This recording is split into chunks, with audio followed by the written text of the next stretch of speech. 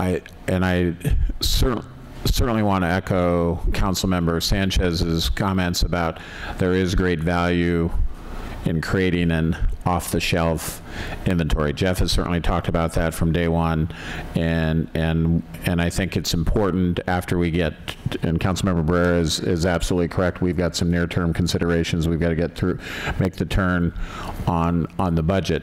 But following that, I think developing that inventory is, is critical, and I, and I would certainly like to hear, and I think the council would, what, what would it take to do that.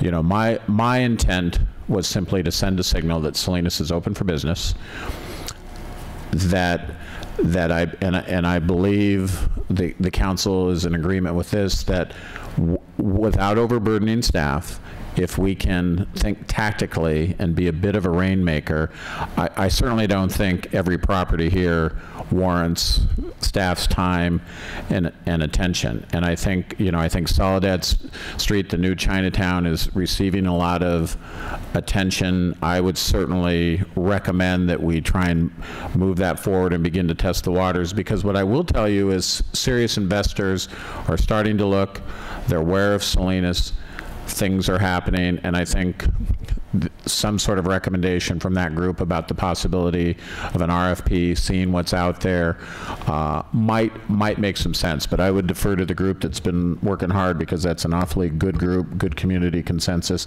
But, but, but I believe we ought to raise the flag and see if anyone salutes in Soledad Street. How, how that takes place and the timing, I, I certainly defer to those who are, who are really paying close attention to that. And I, agree- and, and I think both Councilmember Sanchez and Councilmember Barrera are correct. Around Division Street, there, there exists division. Uh, I think it's important not to move prematurely, make anyone skittish there.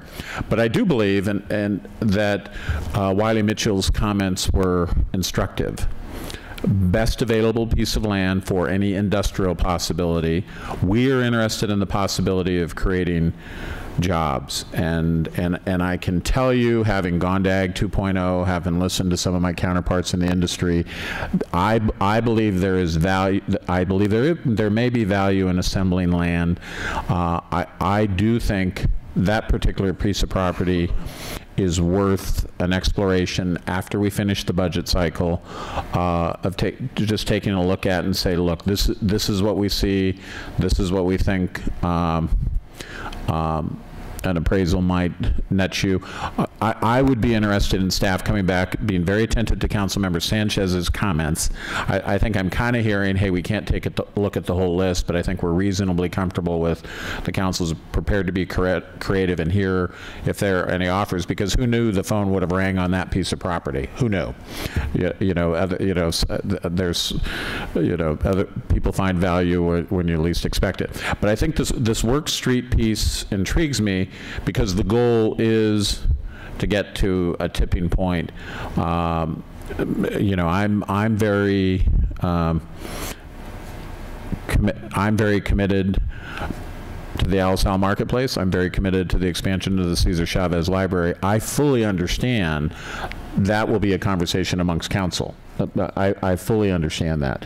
But I, but I think this idea of, can we take a piece of property that has, uh, that if we're a bit of rainmakers, anticipate some industrial opportunities, um, and we're in position, able to move a little more quickly. Because the one thing I do know, people who are making decisions these days, they make them fast. And, and I think the Work Streets property is the one area that we ought to know. And, and to Councilmember Barrera's point, and I, I met with Patrick Matthews today, and he, and Suba's not here, but they asked me, hey, how would you feel about it? Is David there? Oh, okay. Sorry, didn't see you, you hid. Uh, You know, hey, how would you feel about a temporary autoclave project? And I, the answer was, non-starter, you need to leave. So, so I'm not, uh, suggestion in any way, shape, or form that we impede with, with that. But, but I don't think it hurts to find out what Work Street, what opportunity that presents, because that's our best bet for tipping point dollars, along with, and then I'll just take this moment to announce before we adjourn and head into closed session and talk about really important top secret stuff. So top secret that even I must recuse myself from the real property discussion uh, around the 100 block uh, with Taylor Farms because uh, Taylor Farms happens to be to be a customer customer of mine, so I have a potential conflict of interest. So I will not be participating in any of the 100 block discussions. But but I but I feel very strongly about at the right time we take a look at what Work Street could represent in terms of in terms of an opportunity. So I so I think that kind of fairly sums up where the the general direction with council, and then we'll we'll just look to hear back. Uh, uh, we'll, I'll ask Artie to uh, come back to us in a timely fashion once we've gotten past the budget with what what your thoughts are based on the feedback you heard from from council tonight. And, and I would, um, I'd like to underscore uh, just, just a small piece.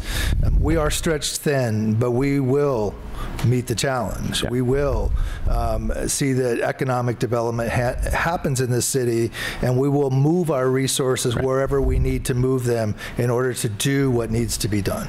Well, and I think the council, and I think Councilmember Craig is, is correct. Some, sometimes we simply need to, to do the work, uh, and, but we, un, we understand you'll do that, but I, but I think the council has always been fair-minded. Let's be good partners on how that proceeds, the timing of how that proceeds. But, but I think the most important signal we can send as, as a council and as a city is we're prepared to be creative and look at things uh, in, in new manners than we have in the past. And, and, and that's the most important thing, and then we can work out the details. So thank you for uh, your usual good work. Mayor. Thanks. Yes, Councilmember I Just want to make one suggestion in regards to resources. There's uh, a few of the universities, they have um, departments where they would actually, graduate students or, uh, what do they call, um, before they graduate, they will take on projects like this. In some cities, take Right. advantage of internships where, where, you know, several, a group of, even a class can actually take on this project. Right. And they'll do all the research, all that stuff, and just have supervision with staff. So that would be one suggestion that we look at opportunities with uh, either UC Berkeley or some of the other Davis or some of the other universities around us. that, and that's a good comment. And, and I'm hearing more and more really very good things about CSUMB's business school and uh, Brad Barbeau and that group. So there, there may be some uh, really good help there that would be off the shelf for you. So, okay, good, good discussion. Thank you, everyone. Heading off to closed session.